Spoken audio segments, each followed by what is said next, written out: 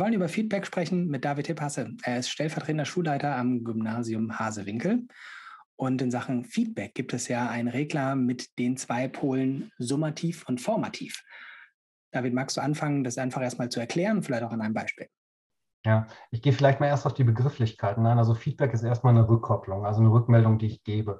Ähm, formativ heißt jetzt im Lernprozess begleitend ähm, und summativ steht dem so ein bisschen gegenüber, das ist zusammenfassend am Ende. Das schließt sich beides nicht aus. Häufig ist es in Schule aber so, dass insbesondere Summative im Vordergrund steht und das Formative sehr selten betrachtet wird. Ähm, dabei würden wir mit unseren Beispielen vor allen Dingen Fokus legen auf das formative Feedback und haben deswegen diesen Schieberegler da reingesetzt. Ich habe ein Beispiel mitgebracht, ähm, was verlinkt ist. Das ist ein Beispiel aus meiner achten Klasse, ein Informatikbeispiel. Ähm, da geht es darum, dass ähm, als Produkt so eine Software entwickelt wurde, so ein kleines Spiel entwickelt wurde von den Schülerinnen und Schülern.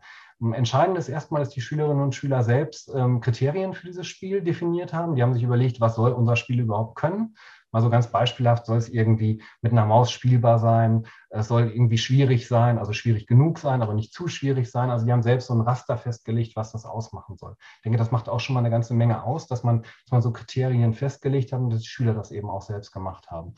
Ähm, dann hatten die jetzt insgesamt drei Doppelstunden Zeit, an diesen Sachen zu arbeiten in so Kleingruppen. Und ähm, während dieser Zeit hatte ich natürlich, das hat auf Distanz stattgefunden, jeder war sehr gut auch in Präsenz das Ganze, hatte ich natürlich viel Zeit, ne, weil unsere, meine Schülerinnen und Schüler selbstständig gearbeitet haben an ihren Projekten. Ähm, ich habe die Zeit genutzt, um denen dialogisches Feedback anzubieten. Das heißt, jeder konnte mich dazu holen, sobald er das wollte.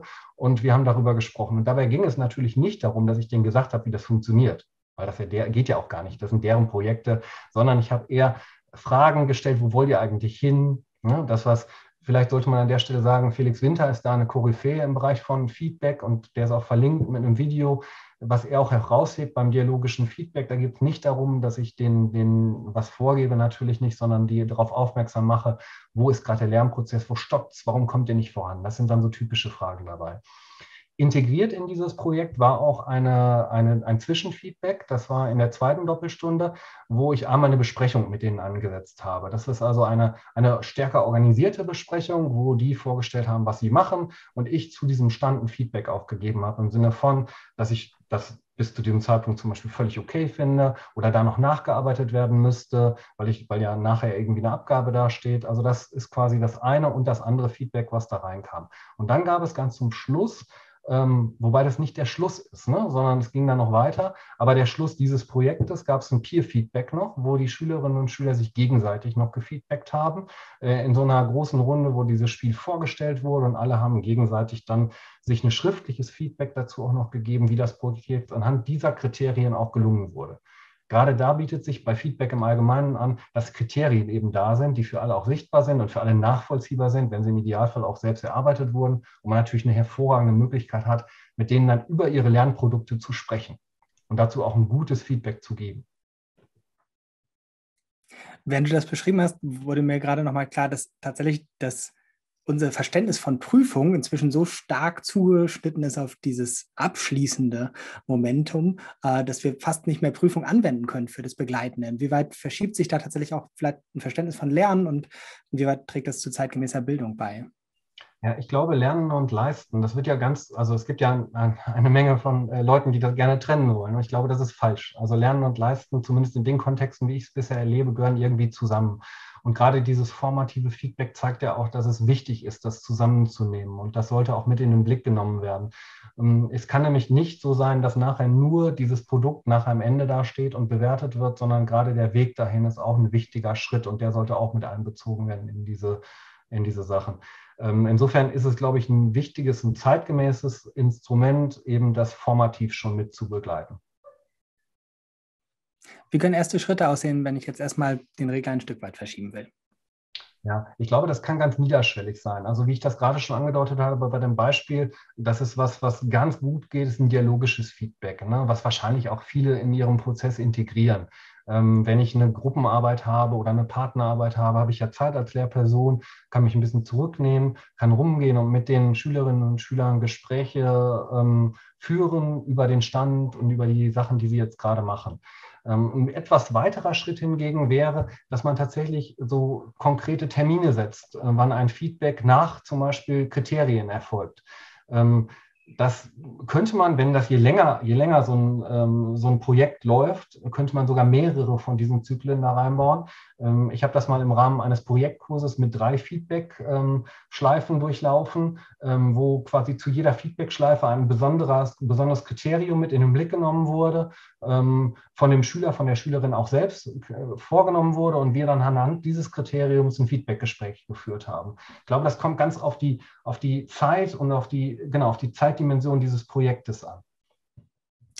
Das scheint mir ein ähm, Regler zu sein, bei dem es weniger um ein Entweder-Oder geht im Vergleich zu den anderen Reglern. Ja, absolut. Sprechen wir noch über andere Regler. Du hast es schon angedeutet. Wo gibt es dann einen starken Zusammenhang zu diesem Regler? Ja, also äh, wieder zu ganz, ganz vielen. Der Zeitregler ist mit Sicherheit ein großer Punkt, den man da reinbringen kann, ähm, weil ähm, gerade so ein großes Projekt sich natürlich anbietet. Wenn ich ein ganz kleines Projekt oder so eine typische Klassenarbeit habe, ist da ja kaum Möglichkeit für ein formatives Feedback. Dann bin ich stark bei einem summativen Feedback. Je länger das Projekt ist, desto wichtiger ist, glaube ich, dieser Schieberegler dabei. Und desto mehr Schleifen kann man auch im Feedback-Verfahren durchlaufen. Ein weiterer Schieberegler ist wahrscheinlich auch der Raum, könnte ich mir hier in diesem Setting gut vorstellen. Ähm, ich habe sehr gute Erfahrungen gemacht, diese Feedback-Gespräche auch im digitalen Bereich zu führen, also auch zu Hause in geschützter Umgebung, also im, im zwei oder sechs, vier oder sechs Augen-Gespräch zu führen, äh, weil Schule tatsächlich manchmal beengte Bedingungen bietet. Und wenn ich mir jetzt vorstelle, ich führe ein Gespräch in einem Klassenraum, wo 30 Schülerinnen und Schüler sitzen, ich möchte aber nur mit zwei sprechen, das ist manchmal ganz schwierig. Auch der Flur ist dann meist keine gute Ausweichmöglichkeit. Ähm, Produkt ist auch wieder ein ganz naheliegender Schieberegler hierbei, weil das häufig Produkte sind, die irgendwie im Vordergrund stehen. Also so eine ganz klassische Klausur mit einem formativen Feedback ähm, zu begegnen, ist ganz schwer. Also steht ganz bei meinen Sachen ganz häufig ein Produkt auch im Vordergrund, was dann gefeedbackt wird. Gibt es noch was, was man zu diesem Thema sagen sollte? Ja, ich würde Felix Winter nochmal dazu, den hatte ich ja gerade schon. Der sagt in der Zeitschrift Pädagogik von äh, Mai 2021, ähm, dass der Schüler mehr in den Fokus gerückt werden muss. Ganz konkret sagt er, der Schüler, die Schülerin muss in die Lage versetzt sein, selbst ihr, ihr Produkt unter Qualitätskriterien zu betrachten und zu reflektieren und darauf zu achten, wann ist es denn jetzt eigentlich eine gute Leistung. Das ist ja das, was wir eigentlich wollen. Schülerinnen und Schüler sollen sich ja selbst einschätzen können und ihre Produkte. Und ich glaube, wenn das erreicht wird mit dem Prozess, den wir da anstoßen, dann ist das viel wert. Und gerade der Schieberegler formatives Feedback bietet die Möglichkeit, das zu lernen. Schönes Schlusswort von David Tierpasse. Vielen Dank.